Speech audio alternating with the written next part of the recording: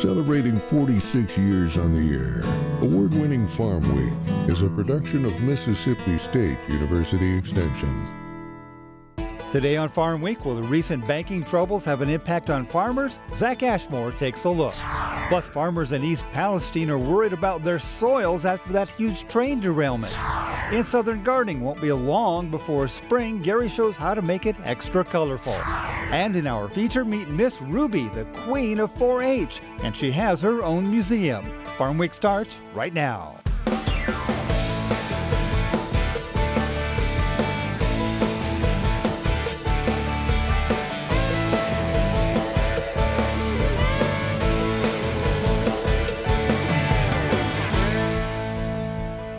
Hello, everyone. I'm Zac Ashmore. And I'm Mike Russell. Good to have you with us again here on Farm Week. And of course, one of the biggest stories on everyone's mind the bank collapse and shutdown that happened late last week. Zac will have more on that in his market segment coming up. In the meantime, late breaking developments in that Ukrainian grain deal. It appears that the UN and Russia have agreed to a 60 day extension following negotiations in Geneva. The original deal was set to expire on March 18th. In this video from last year, negotiators met at a joint coordination center in Istanbul, Turkey. There, the original deal was struck, allowing Ukraine, a world ag powerhouse, to ship grain and help avoid a global food shortage. Russian Deputy Foreign Minister Sergei Vershinin emphasized that the extension was to last only 60 days, saying that, quote, Further grain policy will depend on normalization of ag imports. The EPA will start testing farm soil in East Palestine, Ohio, six weeks after that toxic train derailment. There, 40% of Columbiana County is farmland. The state ag department continues to promise that crops and animals are safe, but farmers aren't so sure. Some farmers say there's been a lack of consumer confidence in their products. Many of them recently went to the Ohio Department of Agriculture's roundtable meeting. The group's director says the county is producing normal, healthy food and will continue monitoring. But within days, the EPA is beginning soil testing for farms in and around East Palestine, looking specifically for ash and soot left over from the train car fire to test for chemicals, despite multiple days of rain that followed. Some farmers have had their soil tested privately. Those results have come back safe though more private testing is likely. In the meantime, farmers say their confidence isn't fully restored despite the roundtable. At least one plans to move her cattle 30 miles away sometime in May. The president recently unveiled his $7 trillion budget. Calls for higher taxes on the wealthy and large corporations. Much of the ag portion was left unchanged, though it does include a new rule for country of origin labeling, COOL. Peter Tubbs has the story. The USDA announced a new rule that would clarify labeling of food products. Under the proposed regulation, meat, poultry, and egg products would qualify for a Product of USA or Made in the USA label if they are derived from animals born, raised, slaughtered, and processed in the United States. The label would continue to be voluntary and does not need to be pre-verified. However, producers and processors would be required to retain documentation in case their claim was ever challenged. The new regulations close a loophole in the labeling system.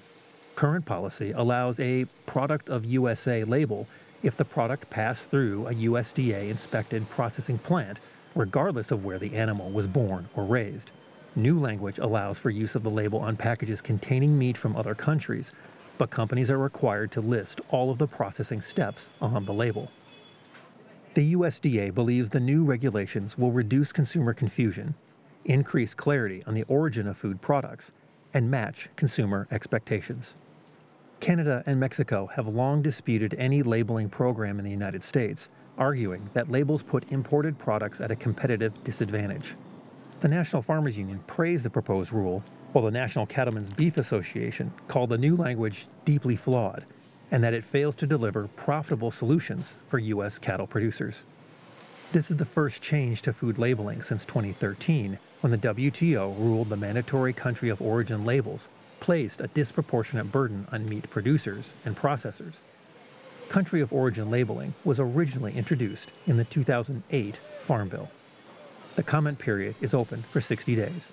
Despite much distraction on Capitol Hill, prep work continues on the next Farm Bill. Recently, the House Ag Committee held yet another hearing. Despite an ethanol victory, there wasn't much discussion of biofuels among the rural Americans who brought their concerns to Congress.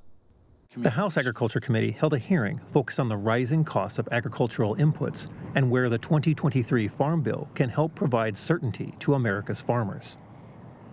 Pesticides, our fertilizers are tripled and quadrupled in cost. Has it gotten, has it become better for the, our farmers right now in this area? And what can we do to do better? We have seen a softening in the market uh, recently, so prices have come down, in some cases, half the cost of what they were last year. Uh, several reasons for that. One, I think farmers are waiting and uh, wait and see approach, and so that softened the market a little. But some of the global markets, as I referenced, have also opened back up. So you see a lot more product moving that uh, impacts that, that supply and demand all over the world, whether it's India or, or Brazil. Could you just talk about uh, some of the current legal barriers and liabilities that face farmers who try to fix their own equipment that they own um, or that uh, have to rely on a third party to do so? This uh, barrier, uh, we've had promises in the past uh, from the equipment manufacturers that they will allow access to this information and allow some um, uh, independent repair. Uh, that, however, uh, did not come through. so we, we need to see laws in the books to enforce that right to repair. Is China meeting its trade agreements that they made with the previous administration? Do we need to be doing more to hold their feet to the fire? You know, the phase one trade agreement was huge for agriculture. Uh, and did they meet it totally? No, and they didn't meet it in the, in the second year of it.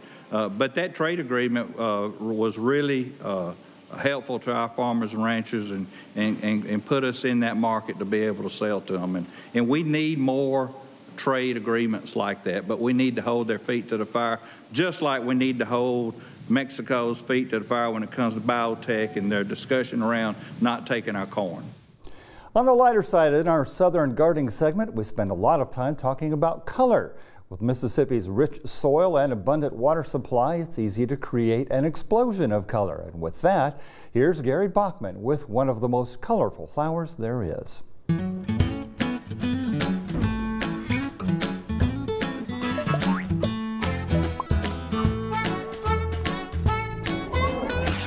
Think one of the classic summer plants for our Mississippi gardens has to be bougainvillea. This tropical plant is perfect in a hanging basket or container on the porch and patio. Today's Southern Gardening is visiting Rivers Nursery for a good look at these plants that require little care and can return many years of enjoyment. These bougainvillea baskets will develop long arching branches as the summer progresses. Be careful when handling because of the sharp thorns on the stems. The flowers are available in a variety of colors, but did you know they're not actually flowers? They're really modified leaves called bracts and have a papery texture and surround the white tubular flowers. Best growth is achieved by full sun exposure.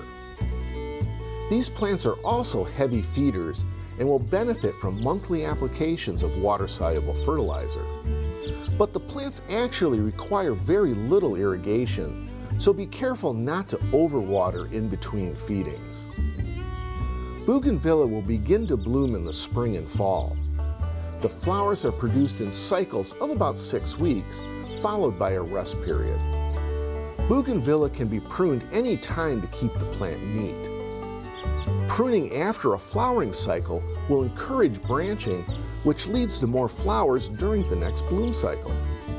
In the fall, bougainvillea should be brought inside and placed in a window with high light for indoor flowering to brighten the winter months.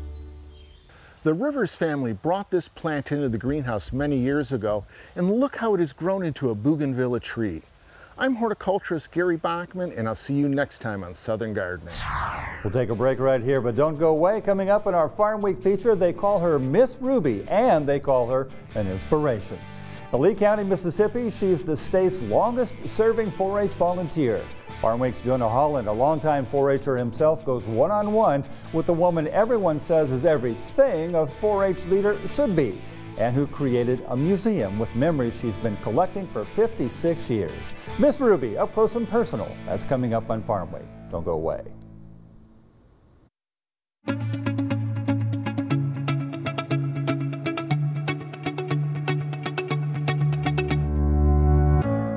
I believe in people and their hopes, their aspirations and their faith, and their right to make their own plans and arrive at their own decisions, in their ability and power to enlarge their lives and plan for the happiness of those they love.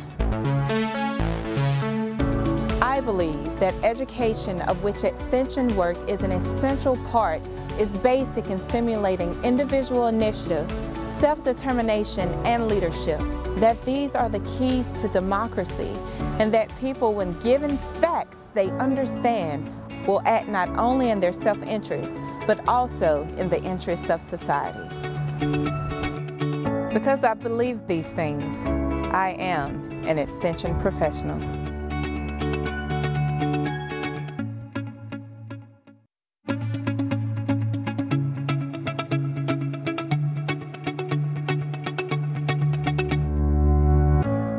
Believe in people and their hopes, their aspirations, and their faith. I believe in intellectual freedom to search for and present the truth without bias and with courteous tolerance toward the views of others.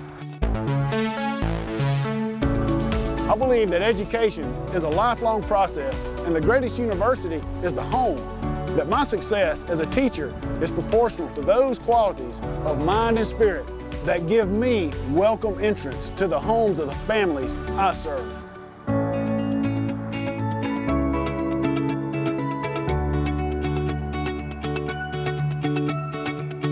Because I believe these things, I am an extension professional.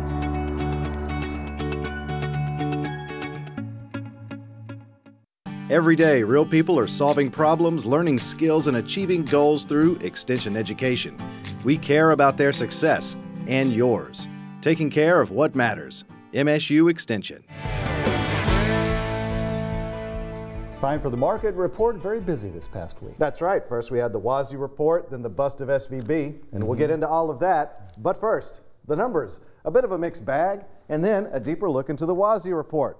What did it say, and what effect did it have? And finally, in our row report, a look into SVB and what else is moving the markets. So, market split, row crops on the downswing. Let's take a look. Last week's biggest loss, wheat, down 29 and a quarter cents. We'll take a closer look into that one in a bit. It's followed by cotton at about 6 cents, but that's a 7.21% drop from the previous week. Last week's biggest gain, lumber, up nearly 47 bucks. That's a 12.60 cent percent rise from the previous week. So, this month's WASDE report dropped last week, and as usual, it had an effect on prices. The real question is by how much? This time I'm thinking quite a bit because the day after it dropped, prices saw a big dip down, at least for row crops. Here's what it said. U.S. wheat supply and demand outlook unchanged from last month. Projected season average farm price remains $9 per bushel. Global wheat supply is slightly lower. Global production raised 5.1 million tons on increases for Kazakhstan, Australia, and India. Trade increased 1 million tons. Use forecast 2 million tons up. Ending stocks down 2.1 million tons. U.S. corn exports down 75 million bushels due to poor pace of sales and shipments. Ending stocks up 75 million bushels. Season average farm price $6.60 per bushel. Global corn production down mostly due to heat and dryness in Argentina. Imports down, ending stocks also down 296.5 million tons, mostly due to declines in Ukraine and Brazil. U.S. rice exports down 3 million hundredweight to 59 million, the lowest since 1985 and 86. Ending stocks raised to 36.1 million hundredweight. All rice season average farm price unchanged at $19.40 per hundredweight. Global rice supplies raised 7 million tons, mostly on higher Indian production. Consumption raised 2.8 million tons. Trade up 0.9 million tons. Ending stocks up 4.2 million tons, with China and India accounting for 81% of the stocks. U.S. soybean exports raised 25 million bushels due to higher than expected shipments. Crush reduced slightly ending stocks down 15 million bushels. Soy oil exports also down 200 million pounds. Season average farm price unchanged at $14.30 per bushel. Global soybean production down due to weather issues in Argentina. Uruguay production also down. Exports higher in U.S. and Brazil. Imports higher for Argentina and Turkey. Crush lowered 3.3 million tons. U.S. beef production raised on slaughter projections, pork production lowered due to higher than expected pace of slaughter, broiler and turkey production up while egg production slightly down. U.S. milk production up on higher cow inventory, cheese prices lowered due to higher supplies, butter and whey prices raised while non fat dry milk prices unchanged. All milk price forecast $20.45 per hundredweight. U.S. cotton supply and demand forecasts unchanged relative to last month. Projected season average farm price unchanged at 83 cents per pound. Global cotton beginning stocks 900,000 bales up due to China and Uzbekistan consumption estimates. World consumption 555,000 bales lower. Imports also lower. Production 700,000 bales up due to larger crops in China, Australia, and Uzbekistan. This week in our row report, there's a lot going on this past week, and there are two big factors to talk about. We start with the second largest bank collapse in U.S. history, the Silicon Valley Bank. Why would that impact agriculture? Well, it's too early to see the full fallout, but there are two things to consider. One, it's put attention on other banks concerning loans. Many farmers borrow money to tide them over until harvest when they pay it back with their profits. And two, SVB invested in tech and anyone who's been in the field recently can see there's a lot of tech going on in modern farm equipment. This collapse could hinder development. Another market factor to consider, there's an important date coming up, March 18th. What makes this date so important? That's when the safe shipping agreement between Ukraine and Russia expires. As we mentioned earlier, it's been extended. But if it ends for some reason, it'll be harder for Ukraine to export its grain. Now that you have some context, market analyst Jeff French gives us the deeper analysis. You know, I'm going to wait till after those negotiations are done, but it would not surprise me if the funds sell this thing because they are short about 100 to 120,000 contracts. So they want it to go lower. That that is their bet. It would not surprise me if they sell this thing right into the negotiations, get all this bearish material out of it, the deal is signed, and then we're kind of done going down. Because if it is they don't get a deal done, you're taking about 3 million metric tons of grain per month off the world market. Well, I think you have to look at what happened here this week. I mean, it, it wasn't mainly fundamentals. I mean, some of it was because of the decrease in exports, which increased the corn carryout. But the, the, the stock market was down 1,400 points this week. Uh, you know, there was bigger things going on. One of the, you know, the second biggest bank failure ever in the history of the United States happened this week.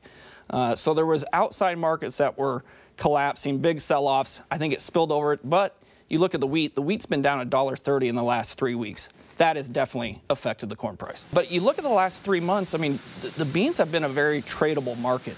Uh, the low side support 1480, the high side where it's resistance 1540 to 1550, because every time we get a big rally, the Brazilian come in and start selling. They are only about 35% sold uh, they are estimated at the end of this week 60% harvested. So they have a big crop coming. They have plenty of beans left to sell. That's why you see when we go up to 1550, we fail. But then all of a sudden we get back down to 1480, the, the selling dries up, and we kind of come back. What I want to see is when we break out of that support or the resistance, where we go from there. And that's it for a deeper look into the markets. Last week was quite a ride there at the end with both WASDE and SVB at the end. The latter's fallout could last the next several months. At the very least, things seem somewhat precarious. Mike? Thank you, Zac. In this week's feature, a story we really look forward to bringing you. They call her Miss Ruby, and she's been a big part of the 4 H experience for a lot of Mississippi youth. But there's much more to Miss Ruby's extraordinary story than you might think. Farm Week's Jonah Holland has more. I just love people. It makes me happy, make my heart cool. And so I just love people. When I lay down at night, I think about the children that went through with me doing 4 H. Ruby Beckley is Mississippi 4 H's longest serving volunteer. She's spent the last 56 years dedicated to serving Lee County and youth across the state. She's who we should all strive to be where 4 H is concerned. She is what a good leader should be. She cares about her people, she cares about her 4 Hers, she cares about the volunteers, and like I said, she's just an inspiration. When they said make the best better, that's what she done. She made the best better. So In her career, she's made an impact on countless 4 Hers. Well, I see that children need some help, and I want them to keep moving on. I love the children, they love me. You see, I've been all over the United States with children. And I love it because them children, they love to work and, and raise their own money to get buses and cars and things. And we've been all over the United States. I even been to the Bahamas with you. It's about learning, learning and doing, working. If they have a project, they need to work on their project. A lot of children don't even know how to public speak. So you need to start them to working with 4-H. 4-H is a word, learn by doing. I said it's about 4-H doing what they need to do, working, making the best better for this United States of America. That's what it needs to be. Young people need to know that 4-H would help them in this United States. Getting money. They always begging for money. Why not work and get the money? Because you can get it through 4-H. You can get scholarships and all those good things. Not only is she an inspiration to youth, but to other volunteer leaders as well. Because when you think about the R in her name, you think about how reliable she is, how she takes on responsibility, how she just she just rises up and go to the U. I think of her as being unique. There's only one, Miss Ruby. And when I think about the B, she's a believer a believer. She believes in what she's doing, and she never falls short.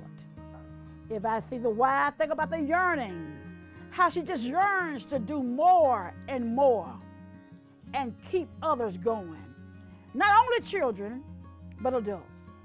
She leaves an impact on you, a lasting impact that no one, no one can take away.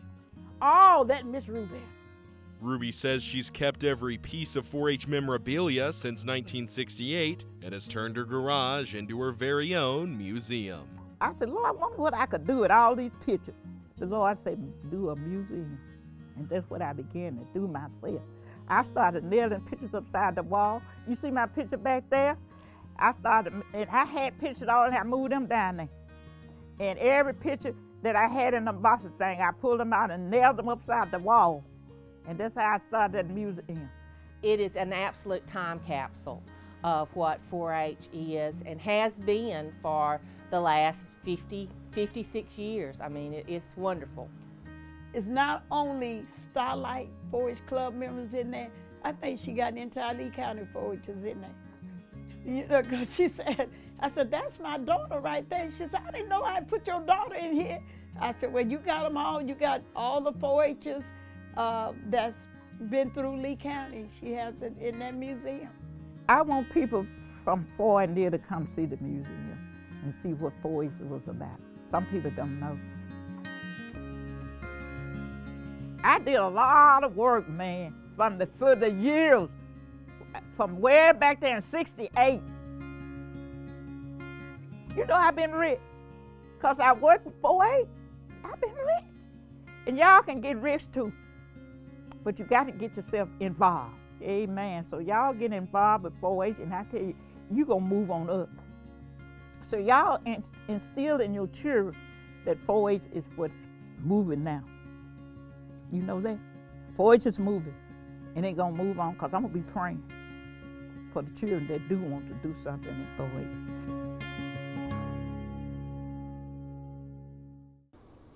Great story. And here with us in studio, the storyteller himself, Farm Week's Jonah Holland, who, as it turns out, has quite a history with Miss Ruby. Jonah, I bet you had a lot of fun shooting this one.